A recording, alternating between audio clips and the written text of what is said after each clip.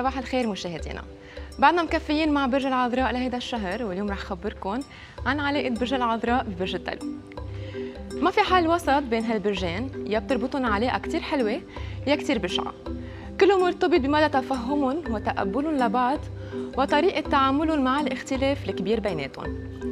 برج العذراء كتير منظم بحياته ما بيقوم بأي خطوة من دون سابق تخطيط. أما برج الدلو فبيكره الروتين وكل تصرف تصرفاته وقراراته عفوية. بيحترم برج العذراء حاجة بدلو للحرية دايما بس بينزعج من تمرده وبيلاقي صعوبة بالتأثير عليه. تروني بكرة تخبركم عن علاقة برج العذراء ببرج الحوت؟ وهلا ببلش توقعات الأبراج 12 مع برج الحمل. بتواجه بعض الأشخاص المنافسين إلك؟ تفشل ببعض المفاوضات. حافظ على هدوءك فرح يخيب أملك ببعض الزملاء يلي كنت دايما عم بتحاول تساعدهم وتكون حدهم. عاطفيا تثبت للشريك مدى حبك له ورغبتك بالارتباط فيه مهما كلف الأمر. برج الثور تبعك المتقلب ومزاجيتك عم بيصعبوا الأمور عليك. لتحقيق أهدافك لازم تبتعد عن هالمزاجية. رح بتواجه بعض المشاكل بعملك تعامل معها بذكاء وتركيز أما عاطفيا كن صريح لأقصى الحدود مع الشريك وقوي علاقتك فيه برج الجوزاء فترة الراحة والنقاهة يلي كنت أخدها خلصت وصار الوقت إنك ترجع عملك من جديد وتركز على كل المهام الموكلة لك. من الناحية العاطفية عايش أحلى مرحلة بعلاقتك مع الشريك. من كف أبراجنا مع برج السرطان قادم على فترة اختبار مهمة ما تتأثر بآراء الآخرين مشاكل متكررة بتحتاج لكل تركيزك. ما تتجاهل الصعوبات أو تتهرب منها. أما عاطفيا تجنب تقول أمور ما بتعنيها بحال حس الخلاف مع الشريك وتصرف بهدوء. برج الأسد نهار كتير حلو من الناحية المهنية وبيوعد بتقدم. بس جرب ما تتخذ قرارات بتخص العمل لوحدك تما تخلق جو عدائي مع زملائك.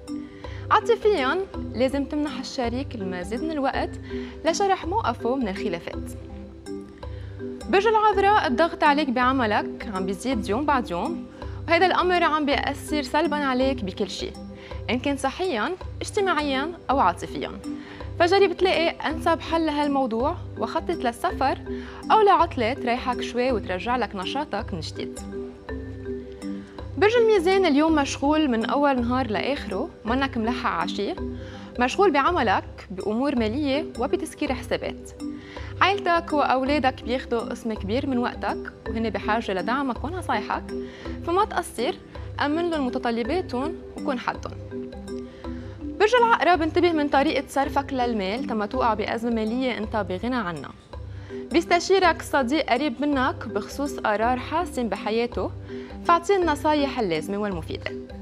عاطفيا شكك بالشريك عم بيزيد المشاكل بيناتكم وعم بيخلي علاقتكم متوترة برج القوس الطاقة الإيجابية اللي فيك اليوم واضحة كتير وبتجذب الكل إلك. فبيزيد وجودك وين ما تكون جو من الفرح والتفاؤل. فاستفيد من هالأمر.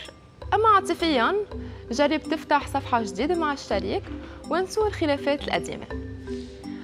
برج الجدي رح بتواجه اليوم بعض المواقف اللي رح تختبرك ومن المهم إنك ما تفقد الثقة بقدراتك. فأنت بتمتلك القدرة على تغيير هالظروف.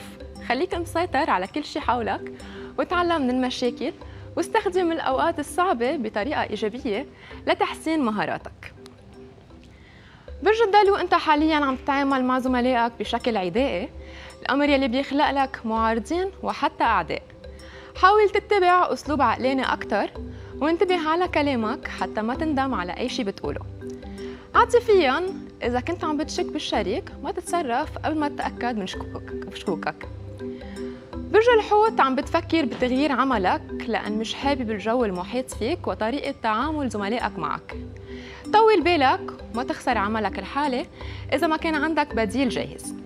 أما عاطفياً تعيد شوي عن الشريك تتعرف حقيقة مشاعرك تجاهه. بالنسبة لمولود اليوم فهو حساس انطوائي وأناني. محظوظ وذكي بيعامل الكل بلطف واحترام وبيلتزم حدوده دايما. ثقته بحاله كبيرة وما بيسمح لحدا يتدخل بشؤونه. منطقي وعقلاني صداقاته دايمة. كلاسيكي ما بيحب التغيير والتجديد. من مواليد اليوم الممثلة والمغنية الأمريكية تاراجي هانسون ولدت تاراجي عام 1970 بالولايات المتحدة الأمريكية.